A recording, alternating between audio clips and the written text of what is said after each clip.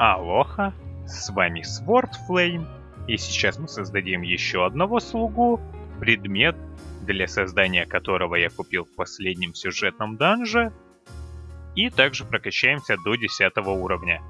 Потом пойдем и выполним еще парочку дополнительных квестов, дойдем до битвы с боссом, и на этом это видео закончим.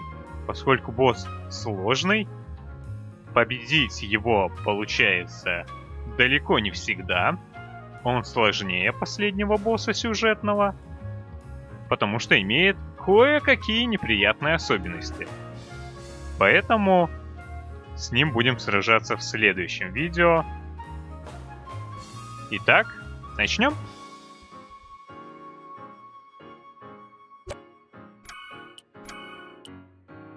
Коно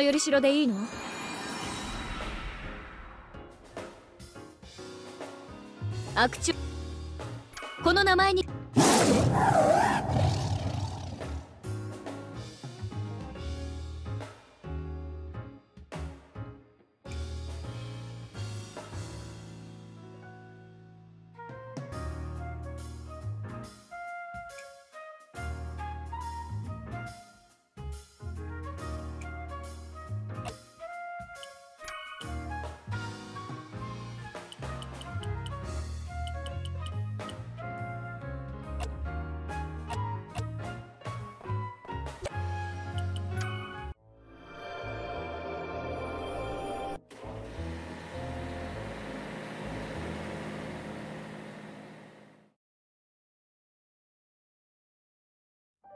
ほら。待って。い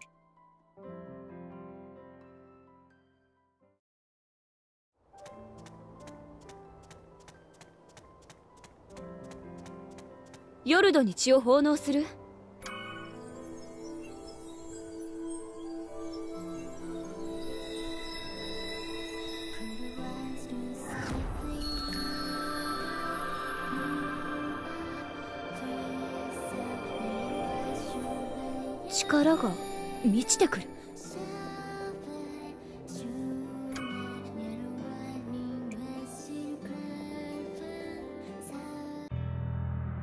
エージェントアーネス今日は私から質問させてください。その件のことなのですが。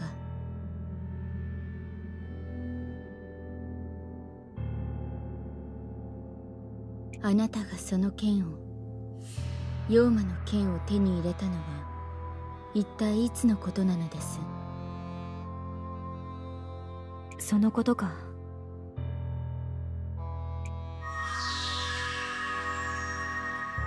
この剣が目覚めた日のことは昨日のことのように思い出せる。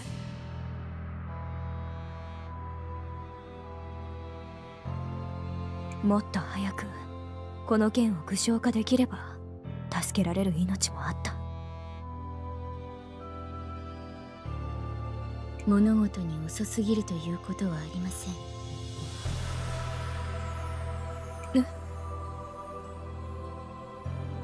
その剣は今あなたと聖女とそして世界を守ってくれています。それで十分ではありませんか？ヨルドの巫女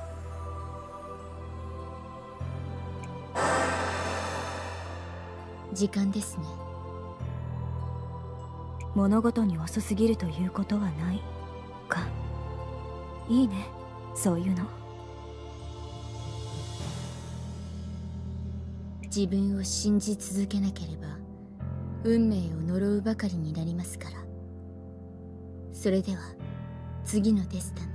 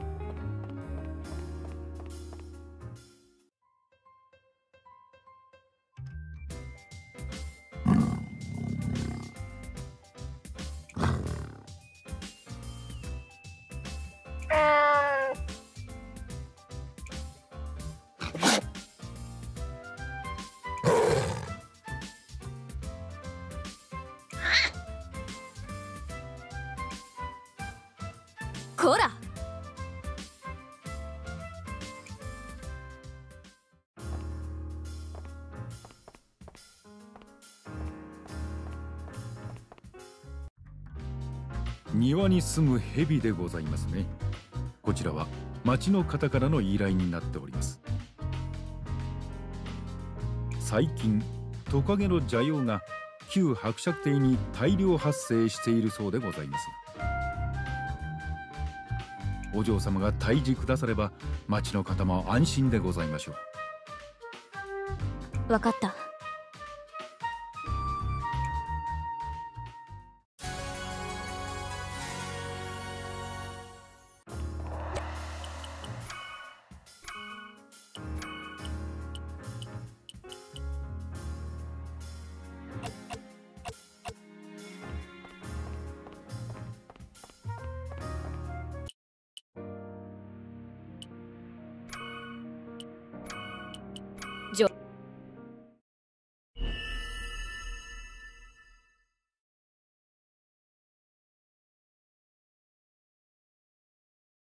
邪妖が集まっているようだな。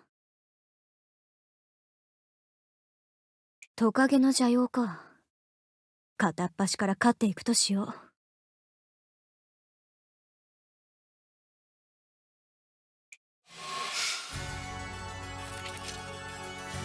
一緒に行こう頑張れ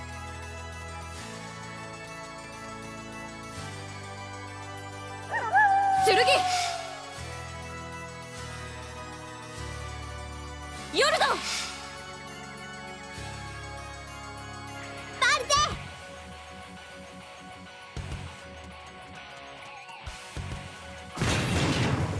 ではった砕け散れはっほっではっ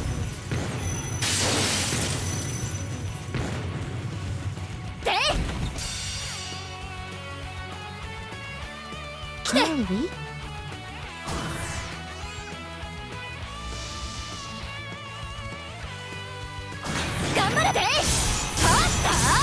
あっ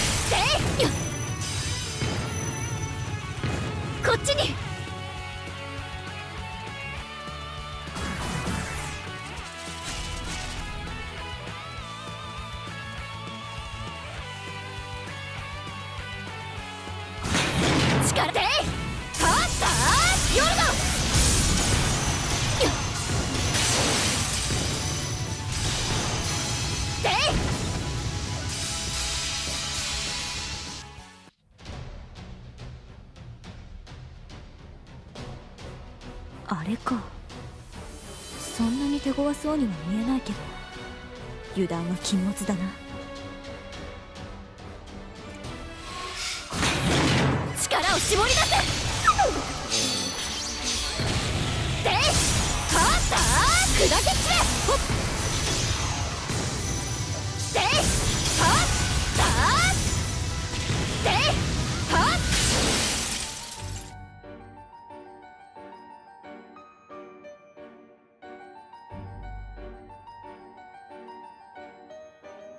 紙だ。差出人の署名も宛先もない。とりあえず支配人に見せてみるか。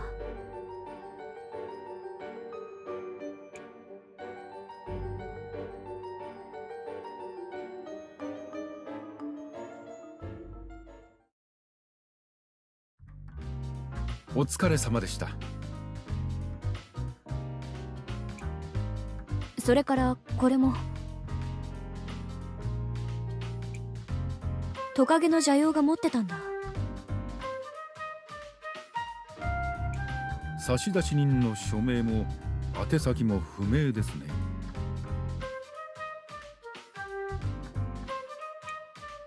開けちゃえ開けちゃえ。そうだぜ嬢ちゃん。まかり間違って貴族の恋文だったら大金に化けるんだからな。あんたらね。開けましょう。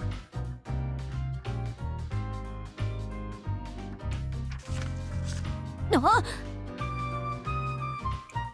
内容は確かめねばなりません。遺品ということもございますから。そうだった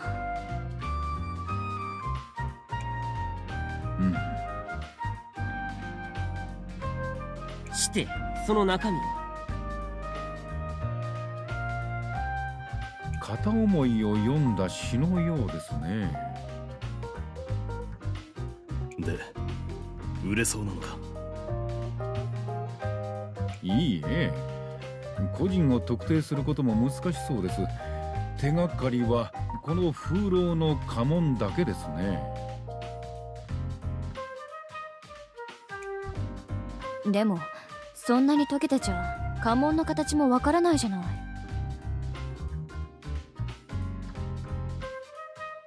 調べてみますよ。風浪部分だけは私にお預けください。手紙はお嬢様が保管を。進展がありましたらお知らせします。わかった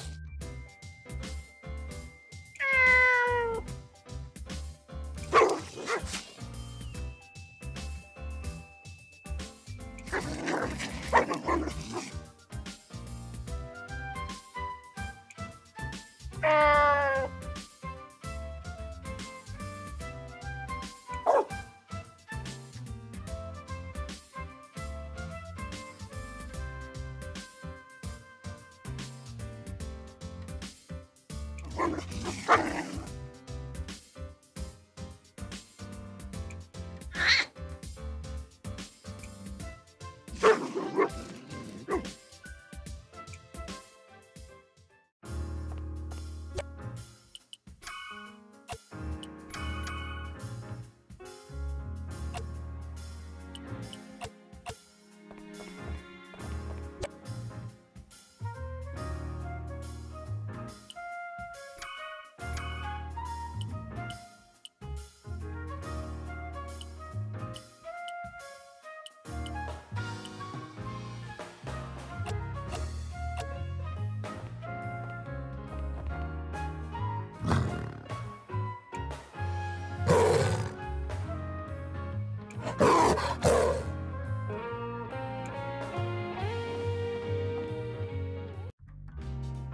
獅子の家でございますね。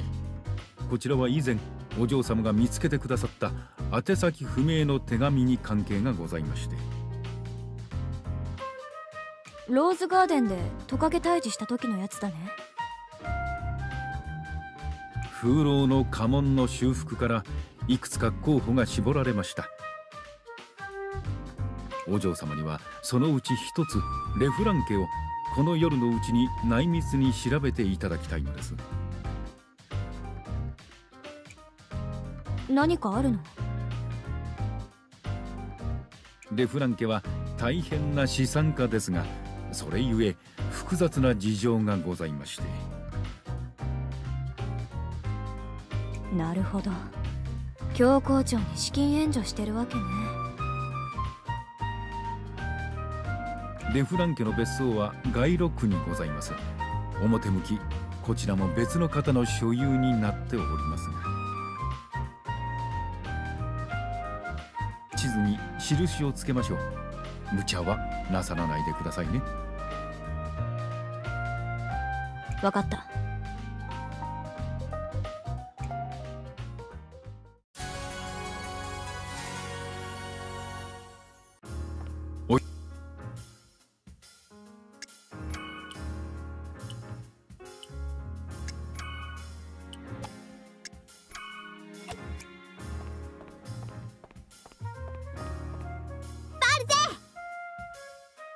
あシアルフィ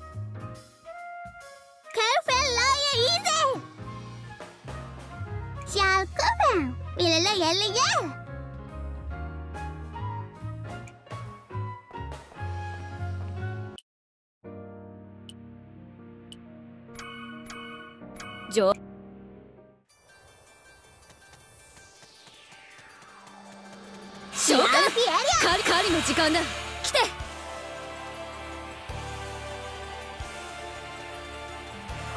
力を絞って。勝った？砕け散れ。来て。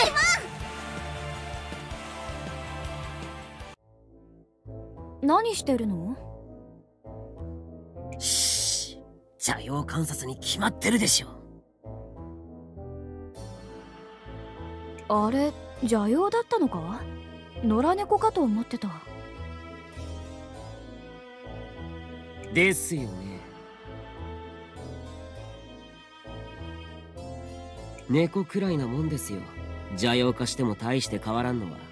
いや不思議な生き物です。東洋では邪陽化した猫は尻尾が増えるそうですよ。まあこの島の邪陽には外見特徴はないようなので私が見極め方を伝授いたしましょう。うん。まず魚を投げる。これ。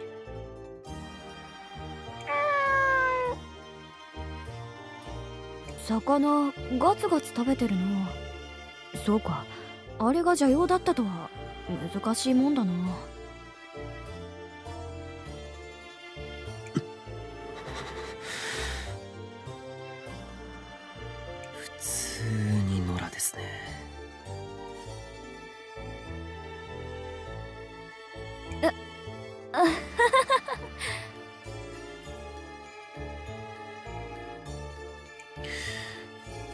ということは私は毎週毎週あの野良猫に餌を。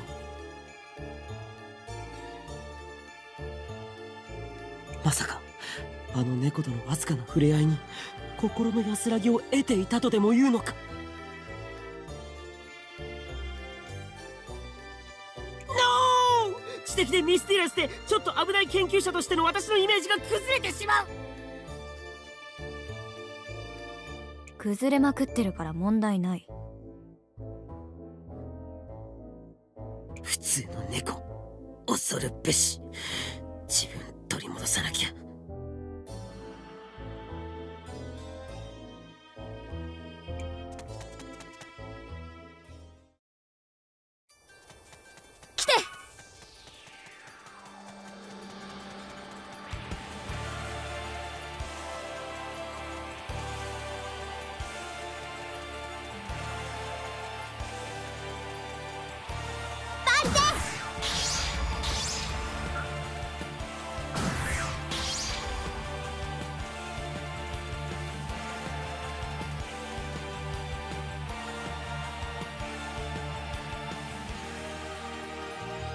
この感じ。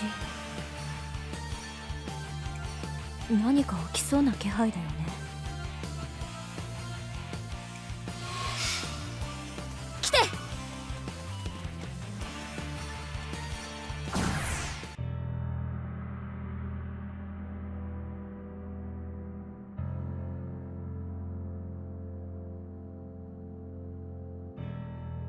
またトカゲだ。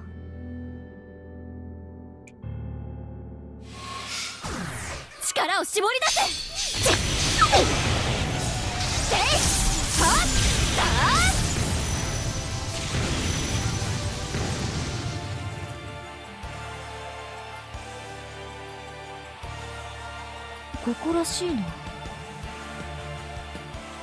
周りを調べてみるか。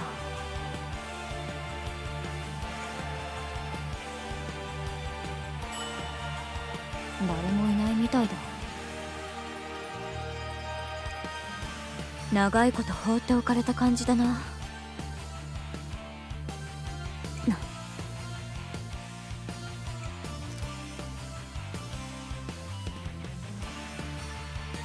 た手紙か。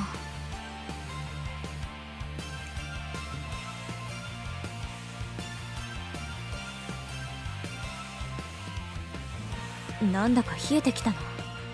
一度戻ろう。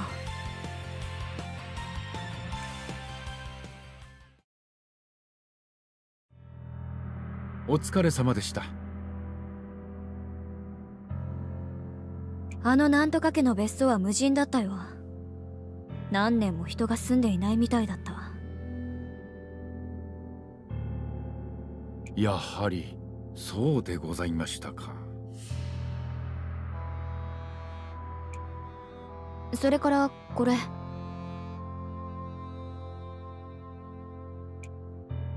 またトカゲの邪妖から手に入れた。確認しましょう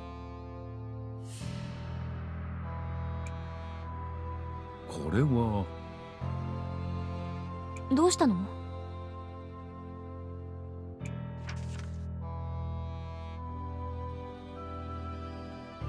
ご一読ください。お嬢様の意見が伺いたいのです。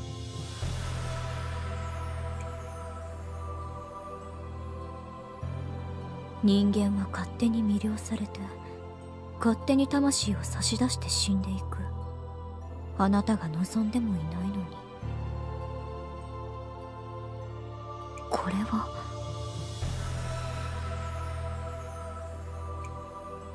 どう思われますか？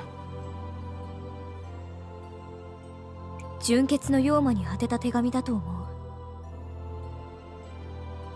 ここ勝手に魂を差し出してって妖魔に魅了された人間が自滅する様子だ。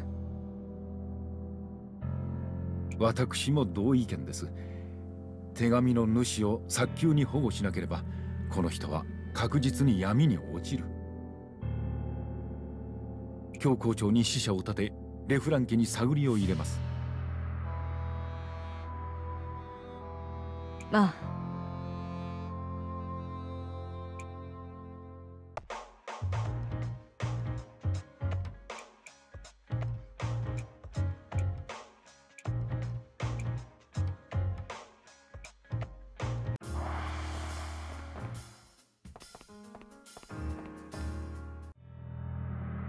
悲しみの宮でございますね。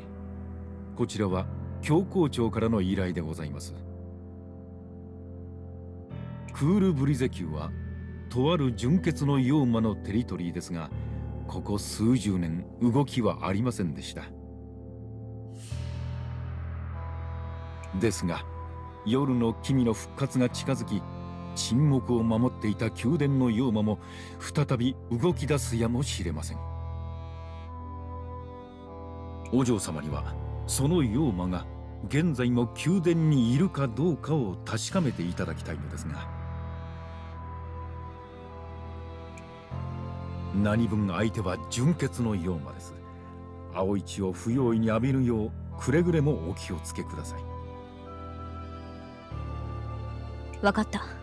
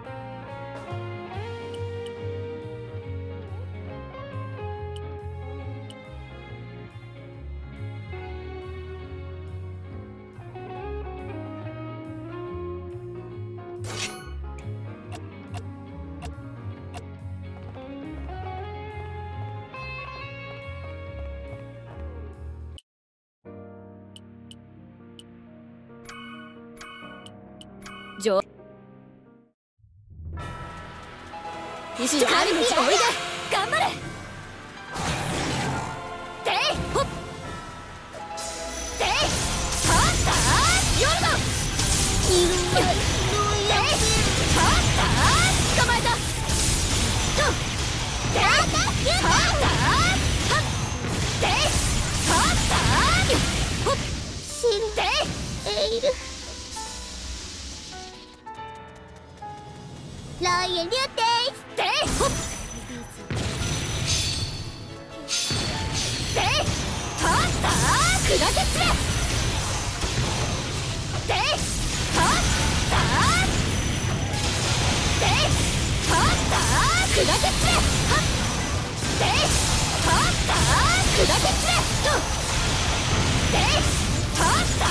砕け散れ。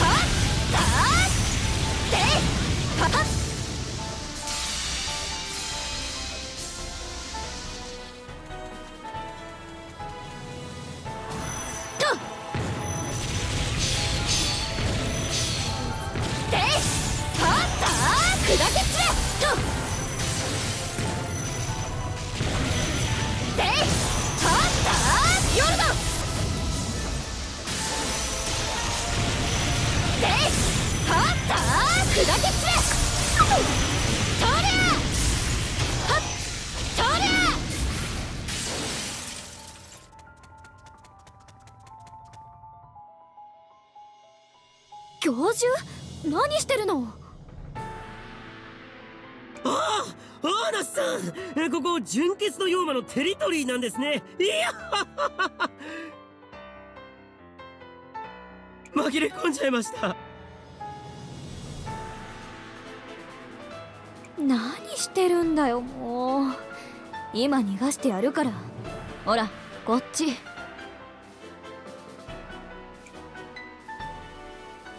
まったく世話の焼ける。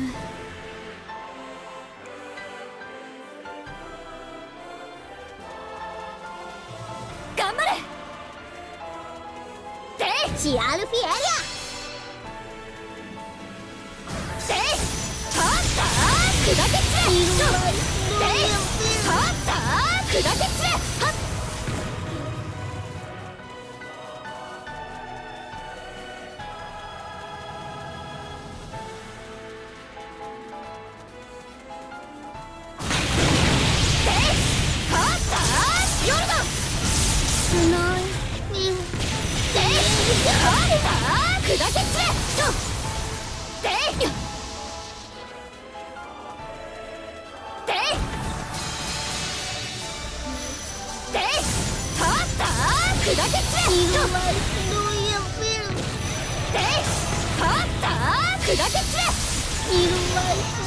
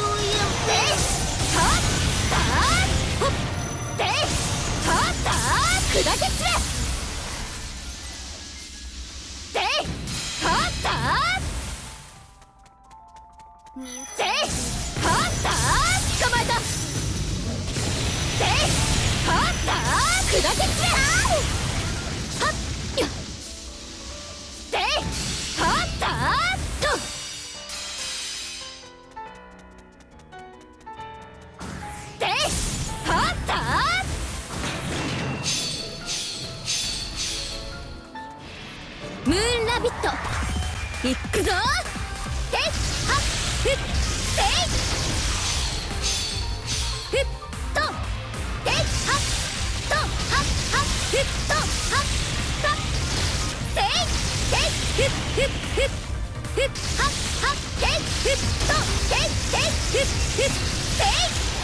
とそれとはってまっすぐ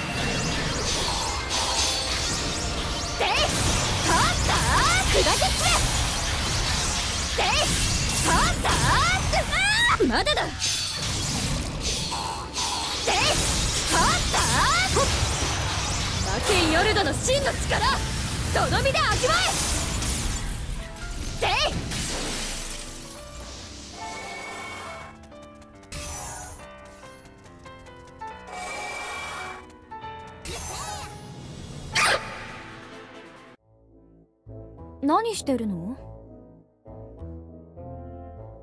し邪陽観察に決まってるでしょ。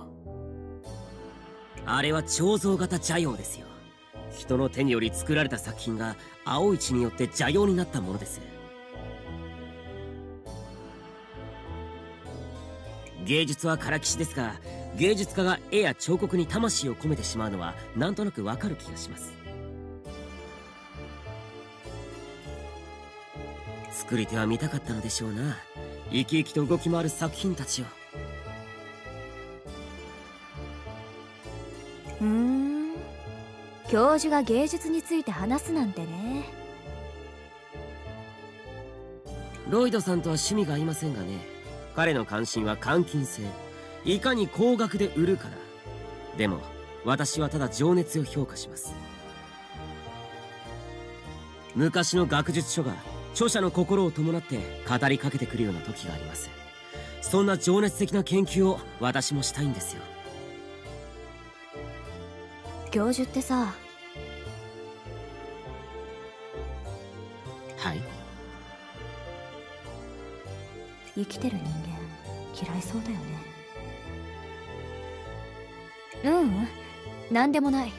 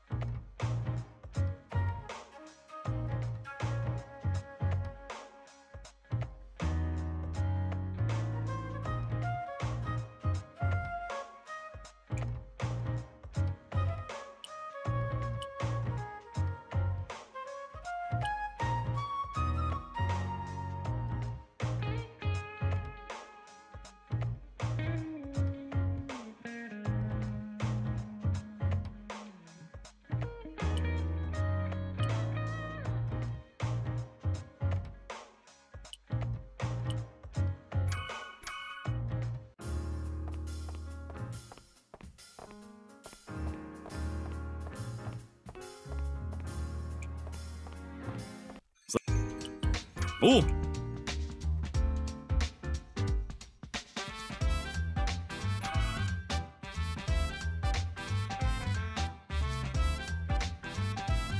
商人をどこ？